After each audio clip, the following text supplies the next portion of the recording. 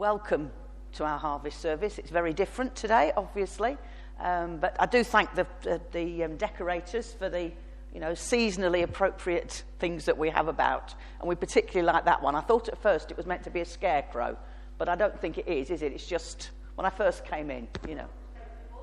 Pardon? you thought it was totally boring? Oh, no, I love it. I think it's really. Yeah, yeah that, that's right. I, I realised that Jenny must have made it when she said she thought it was totally boring. um, this morning it's communion, and for those who were here last month, it will be much the same in that we only receive um, bread, and I will be doing a um, choreographed dance between sanitizing, masking, and everything else at the right times. Um, I will not say anything when I I'll, and I will come round with the bread. Um, if you wish to receive, and I know for various reasons different people don't want to receive communion, but for those who do, if you hold your hands right out in front, so I don't have to get too close, and then I can drop the wafer into your hands, and I, I will, will come round. Um, don't think there's anything else I need to say about that when we get to that point later on in the service. Quite hard thinking about harvest at the moment, and well, it always is really, because it's trying to get that balance between giving thanks to God for all that He has given to us, which is what harvest thanksgiving is about, but we're also presented with these huge needs around the world and in our own community which actually makes us quite sad and reflective. And as I was sort of thinking about these two aspects, I was trying to, trying to get that balance within the service. So I've decided that we're going to do the first bit is going to be our time of thanksgiving to God for all that He's given to us. Um, and then we'll come on to the um, looking at the harvest appeals that are going on this year and what, what we're doing and what we're asking people to do about that. And that's when we'll come into our time of confession and teaching. So, as we think um, about this amazing world that God has given to us, I think one of the benefits of lockdown has been the way many people have engaged with the natural world more. Right at the beginning, when we were told we could only go out for a walk uh, once a day, many people discovered the beauty of the local area that they'd never seen before. I heard of somebody who, I'm not sure whether they lived on Western Drive or had often walked along Western Drive, who didn't know that the River Lostock was just behind those houses. Similarly, where we live, which is sort of, we're not on the Oaks, but where we live sort of backs onto the Oaks, uh, and there's a beautiful field, um, woods and things at the bottom there. And I met somebody who'd been living on the Oaks for a couple of years and never knew that these woods were there five minutes walk, less than five minutes walk from their home. So, you know, that's been one of the things that's been really good about um, the lockdown. And we, like many others, have done a lot more in the garden. We have grown, forgive me, Tom, if I've forgotten anything, we've grown potatoes, tomatoes, lettuces, onions, peas, and flowers. And there is something so satisfying about growing and eating your own food. There's nothing better, is there, than, than that picking a tomato and eating it straight away. And digging up the potatoes has been like digging for gold. You know, oh, there's another one. You know, it, it's a really special. And those, all those people concerned about mental health will tell you that the benefits of being outdoors are huge I just looked up one thing on the internet and it just said that being outdoors can improve your mood, it reduces stress and anger, it helps you feel more relaxed, it improves your physical health, your confidence, your self esteem, it helps you to be more active and make new connections and do different things. But why? But the, the scientists have said that for a long while, and there are certain um, health professionals who will actually prescribe going outdoors and doing walks because it's so good for your mental health. But as Christians, none of this should come as a surprise because it was part of God's plan from the beginning. We read in Genesis 2 God made trees that were pleasing to the eye as well as for food. He designed it like that, that it would be pleasing on the eye. I remember when I was at high school, it's a long while ago, um, and green blackboards came in because the scientists had discovered that green was more relaxing on the eyes than black. And if you look around the world, well, you think, well, it's obvious, really, isn't it? You know, the most of the stuff that God made was green, a lot of it, because He knew that that was what was right for us. And so that just sort of made me think that, you know, how much, and we do know that God has designed this world well, but it was just that one little bit that really struck me made trees that were pleasing to the eye as well as good for food. And so it's in that spirit that we come to give thanks to God for all that He has given to us. And so we're going to um, say some responses. Um, and the response after each sentence is, We give you thanks, O Lord. I think we'll stand to do this. It feels better to, to praise God if we're standing, seeing as we don't stand to sing anymore. So, for earth and sea and sky in the harmony of colour, we give you thanks, O Lord. For the air of the eternal seeping through the physical, we give you thanks, O Lord. For the everlasting glory dipping into time, we give you thanks, O Lord. For nature resplendent, growing beast, emergent crops, singing birds, the energies of the city. We give you thanks, O Lord. For the person you sent to restore us when we fell away from the goodness of your creation, we give you thanks, O Lord. For harmony restored through his Spirit, moving upon the turbulent waters of our lives, we give you thanks, O Lord for the honour you give us of lives flowing in the rhythm of your tides.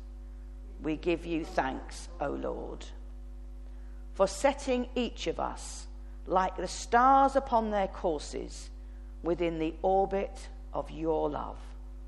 We give you thanks, O Lord.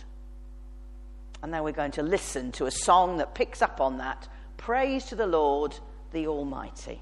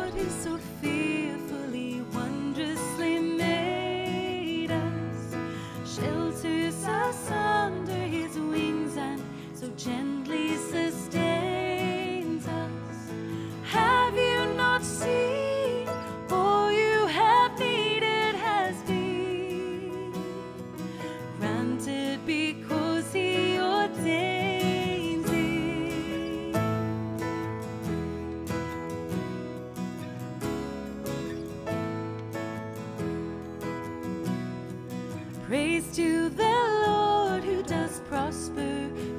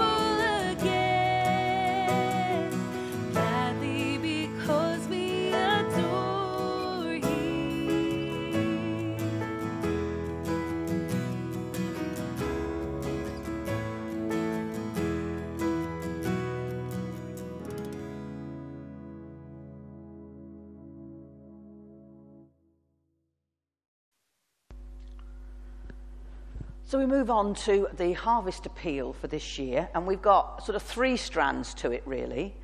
There was, um, we've asked people to, uh, to give stuff to the food bank because obviously the need in this area is still uh, even more so, hugely great.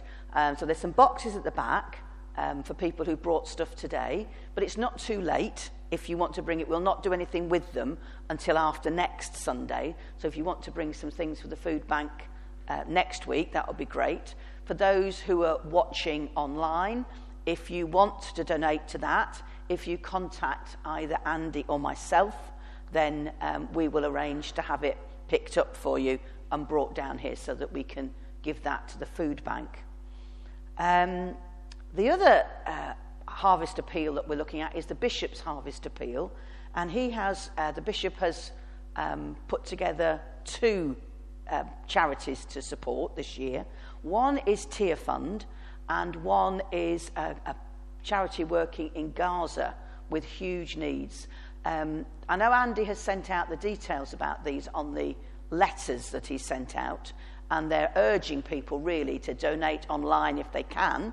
But if you can't, then again, in an envelope and marked, it can go in our normal collection um, so that we can do that. I know not everybody's happy or conversant with doing stuff online with giving money. Again, that will be available for the next couple of weeks. And again, contact us if you want us to be able to pick that up for you. Um, I've put, I don't think I've said this, I've put the information about those two charities up on the notice board as you come in just past the hand sanitizer. And um, you can just read there a little bit about what the work is. But I've found um, the video of the work that they want us to support in Ethiopia. And so we're going to watch this um, video now of the work that they're doing, that they want us to support. Your neighbour is thirsty, but there is a solution and there is hope. For many people in the north of Ethiopia, the impact of climate change is devastating. They used to expect rain up to four months a year, but now it only falls in August. People don't have enough water to survive. It is an issue of life or death. And for families like Orbisa's, everyday life is a real struggle. My name is Obisa and I have nine children. Life is very challenging here. We have no food and are dependent on our livestock for our livelihood. Whenever there is no rainfall, our animals die as there is no grass or water. This affects our lives significantly. We will not get money or have milk to drink. We have no other option. When it rains, I only need to walk five minutes to collect water, but these water sources are now dry. Every night, I walk for 10 hours to collect water from a lake. The walk is dangerous. I can face wild animals such as hyenas and leopards. The water I collect is not sufficient. I am only able to collect less than half of what my family needs each day. We need most of it for drinking, but sometimes it is not enough, and my family has to go to bed thirsty. I feel extremely sad whenever I cannot provide water for my children. It hasn't rained for six months, and I don't know when it will rain next. It is God who knows when the rainfall will come. I worry about my children and my family. I worry about the small livestock which are remaining. I feel worried whenever I think about the future. If we could get water access in our village, this would change things for me. This is the first and most important thing that would give me hope. Orbisa's story is sadly all too common. Forced to find any kind of water, more people are getting sick, and their livestock, their only source of income, are dying due to lack of water. Because of climate change, the area has become even more dry and arid, like a desert. People are suffering, and many are giving up hope. But there is good news. Tear Fund is changing lives. By working with local partners to set up solar powered wells that will provide clean water closer to communities.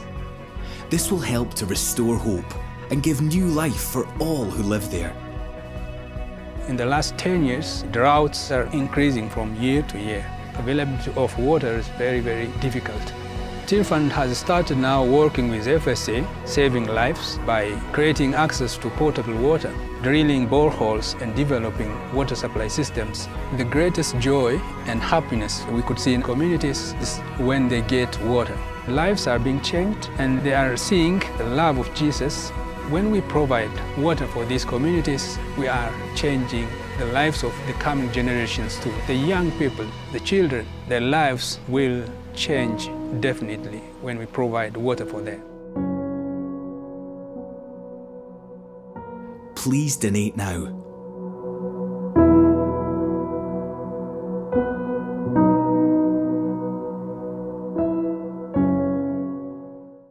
I found that story quite unbelievable. When I first read it, I thought I'd read a mistake when it said that she gets up in the middle of the night to walk for 10 hours to get water.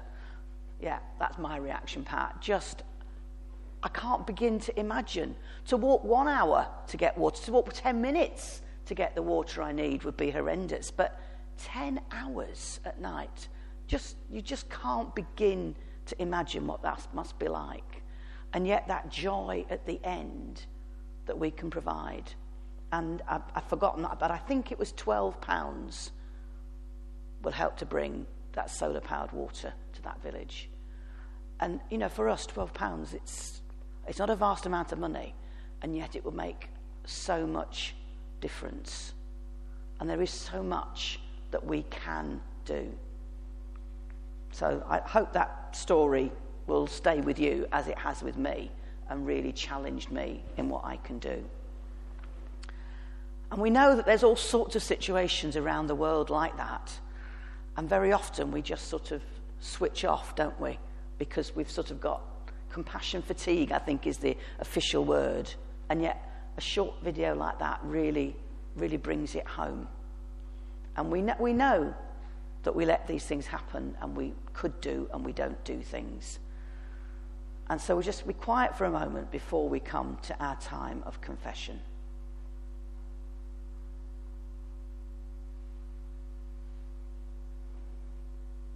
Lord God, our Maker and our Redeemer, this is your world and we are your people. Come among us and save us. We have willfully misused your gifts of creation. Lord, be merciful. Forgive us our sin. We have seen the ill treatment of others and have not gone to their aid. Lord, be merciful. Forgive us our sin. We have condoned evil and dishonesty and failed to strive for justice. Lord, be merciful. Forgive us our sin. We have heard the good news of Christ, but have failed to share it with others. Lord, be merciful forgive us our sin. We have not loved you with all our heart, nor our neighbours as ourselves. Lord, be merciful. Forgive us our sin. And the collect for Harvest Sunday. Eternal God, you crown the year with your goodness and you give us the fruits of the earth in their season. Grant that we may use them to your glory, for the relief of those in need and for our own well being. through Jesus Christ, your Son, our Lord, who is alive and reigns with you in the unity of the Holy Spirit, one God, now and forever. Amen.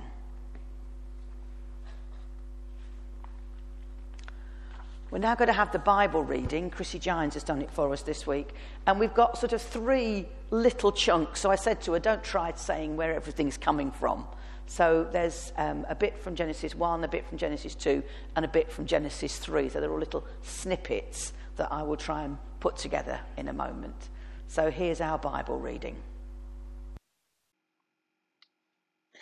The reading for today starts at Genesis chapter 1, verse 29. Then God said, I give you every seed bearing plant on the face of the whole earth, and every tree that has fruit with seed in it. They will be yours for food. Now the Lord God had planted a garden in the east in Eden and there he put the man he had formed. The Lord God made all kinds of trees grow out of the ground, trees that were pleasing to the eye and good for food. In the middle of the garden were the tree of life and the tree of knowledge of good and evil.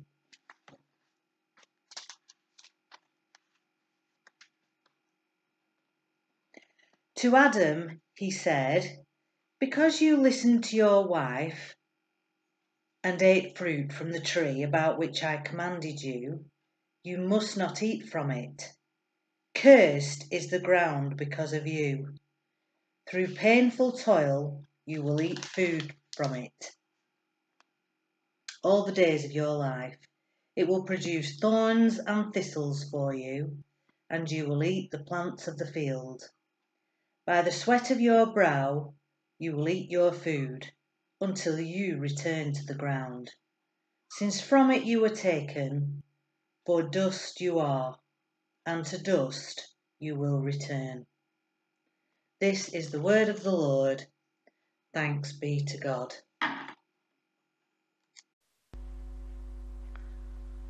Quite a stark picture, that, isn't it? You know, the toil, the sweat of your brow, you will get your food.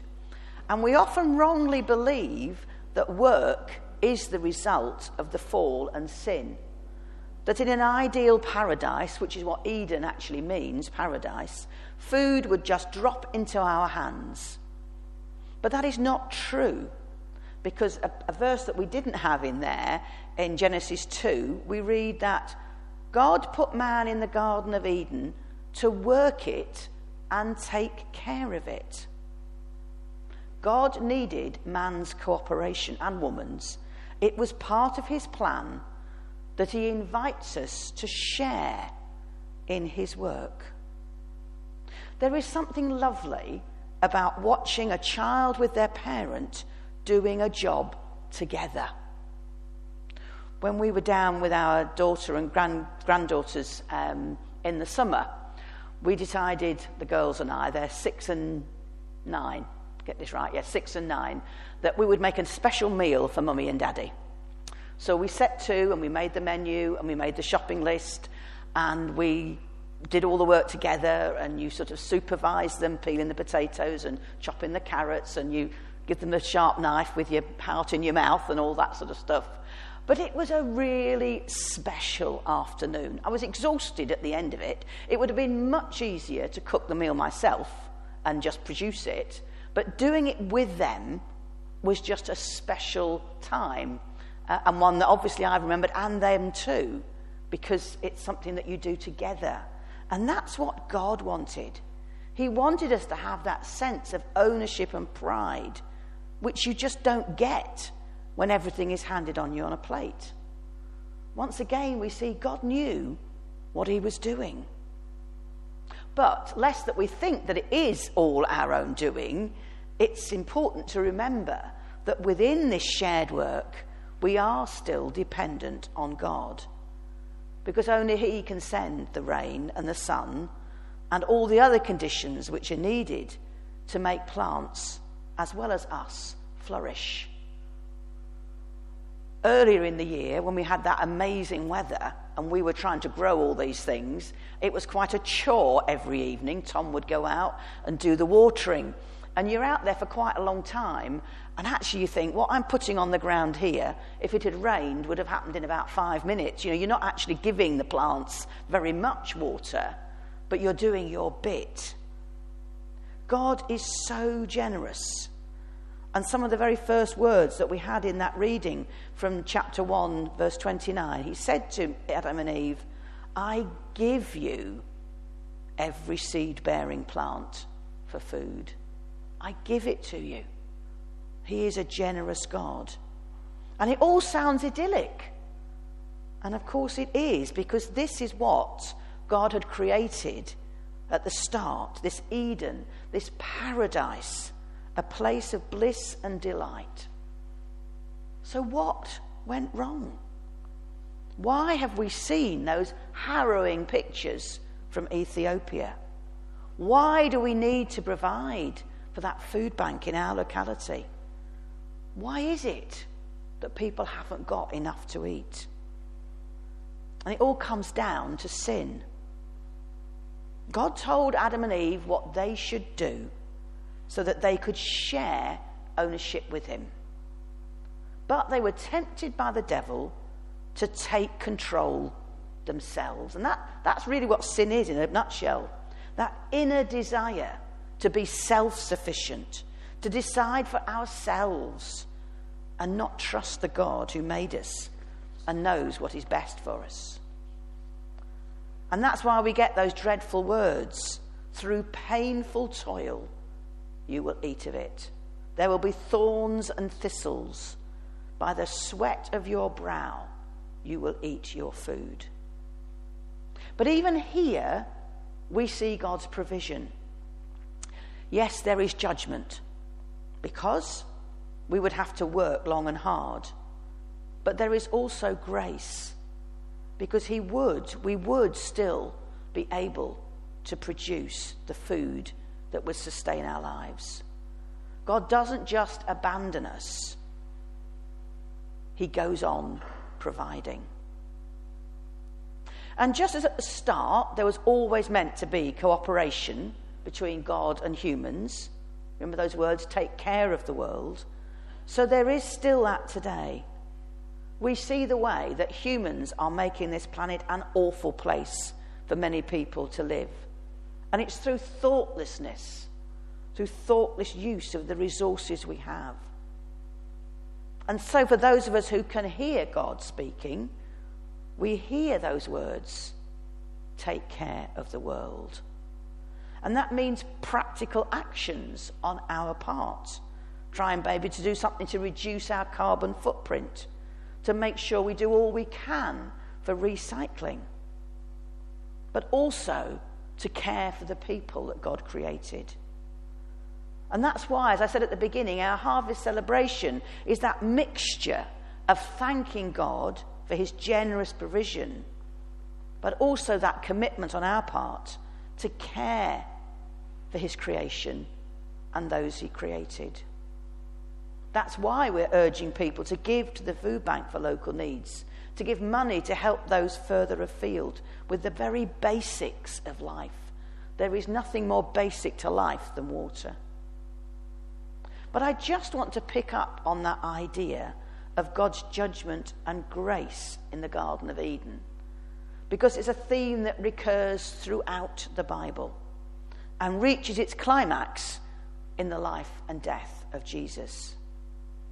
And then when we get to the end of the Bible, the book of Revelation, which is St. John's spirit inspired vision of what life will be like in eternity, we find words like these To him who overcomes, I will give the right to eat from the tree of life, which is in the paradise of God. That ring bells from the very beginning of the Bible. Then the angel showed me the river of the water of life, as clear as crystal, flowing from the throne of God and of the Lamb down the middle of the great street of the city. On each side of the river stood the tree of life. No longer will there be any curse. So here we see that for those of us who believe and trust in God's grace, that paradise, which was God's original plan, will be fulfilled. That is the hope that we have for the future. But in the meantime, we need to hear God's words. God put man in the Garden of Eden to work it and take care of it. And despite the many ways that we try as individuals and as nations and powers, try to be in control rather than depending on God, He, in His love and His grace, calls us and equips us to share in that task. As we come to communion today and we remember the death of Jesus we remember God's grace in making a way possible for us through the blood of Jesus so that we can share in that eternal paradise and fulfill that God's original plan for mankind. That is the promise. That is the challenge of harvest.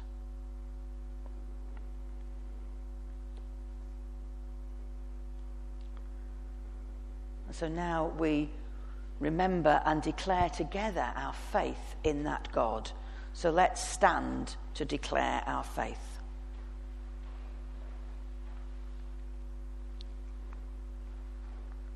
Do you believe and trust in God the Father, source of all being and life, the one for whom we exist?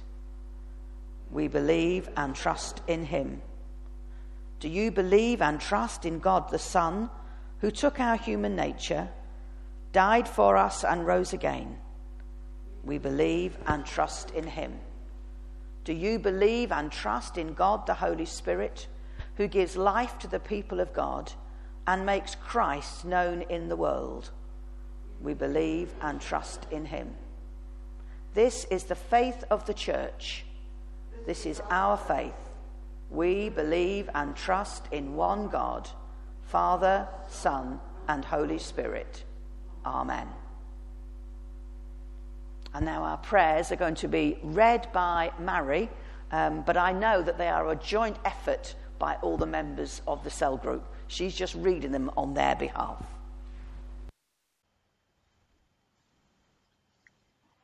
Let us pray.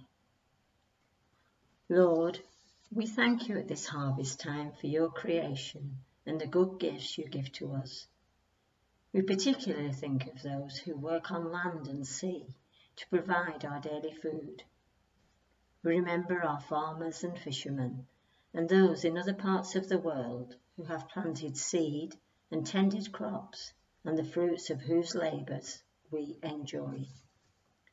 We pray for governments and aid agencies throughout the world and to those areas where there is disaster drought, and starvation. Touch our hearts, Lord, and the hearts of all who live in comfortable plenty, and make us wise stewards of your gifts.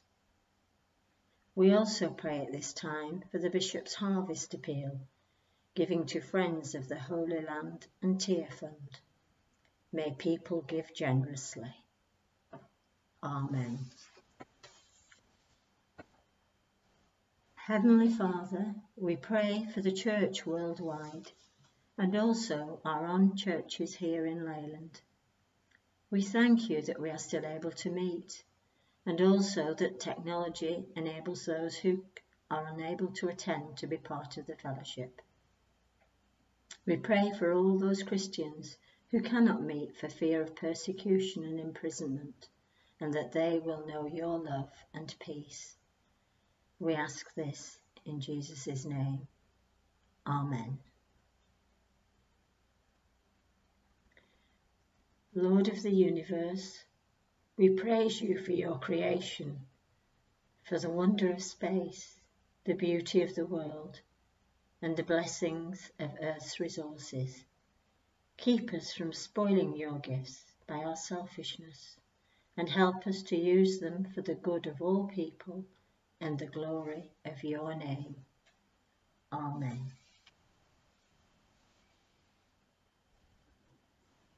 Lord, we pray for the people of our community, where young and old are anxious, deprived of the usual routines of life and fearful of the future.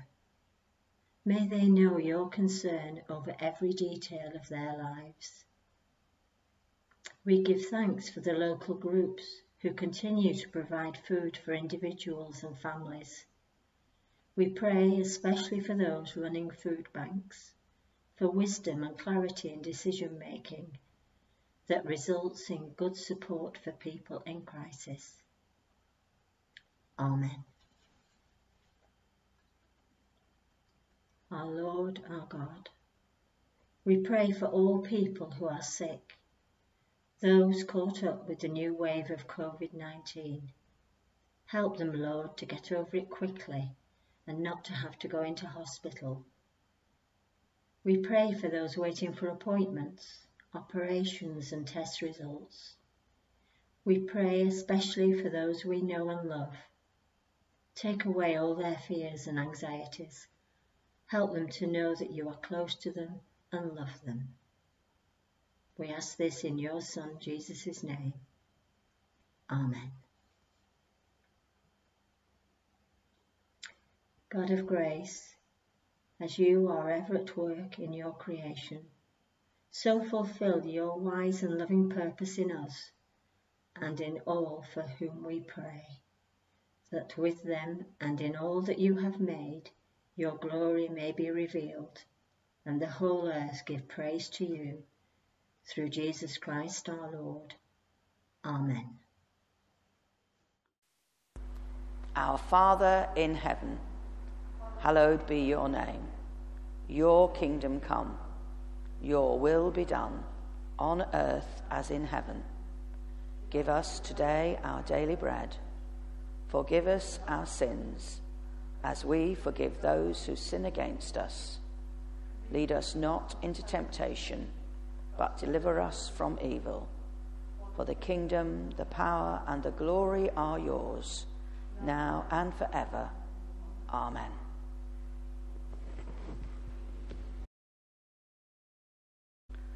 The Lord be with you. Lift up your hearts. Let us give thanks to the Lord our God. It is always right to give you thanks, God our Creator, loving and faithful, holy and strong. You made us and the whole universe and filled your world with life. You sent your Son to live among us, Jesus, our Saviour, Mary's child. He suffered on the cross. He died to save us from our sins. He rose in glory from the dead. You send your Spirit to bring new life to the world and clothe us with power from on high. And so we join the angels to celebrate and say, Holy, holy, holy Lord, God of power and might, heaven and earth are full of your glory. Hosanna in the highest. Blessed is he who comes in the name of the Lord. Hosanna in the highest. Father, on the night before he died, Jesus shared a meal with his friends. He took the bread and thanked you. He broke it and gave it to them, saying, Take and eat. This is my body given for you. Do this to remember me. After the meal, Jesus took the cup of wine. He thanked you and gave it to them, saying, Drink this all of you. This is my blood, the new promise of God's unfailing love. Do this to remember me.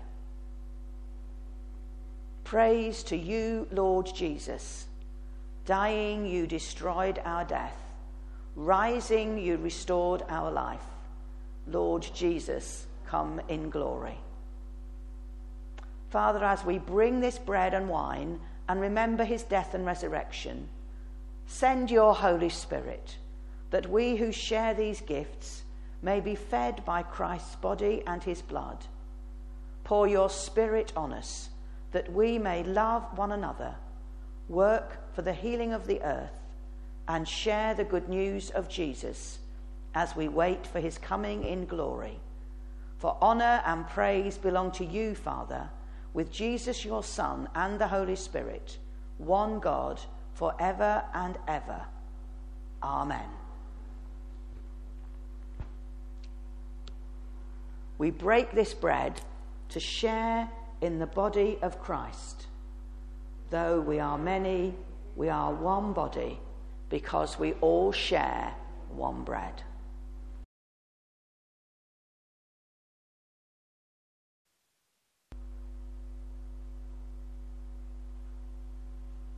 And so we say the prayer of thanks together. Almighty God, we thank you for feeding us with the body and blood of your Son, Jesus Christ. Through him, we offer you our souls and bodies to be a living sacrifice.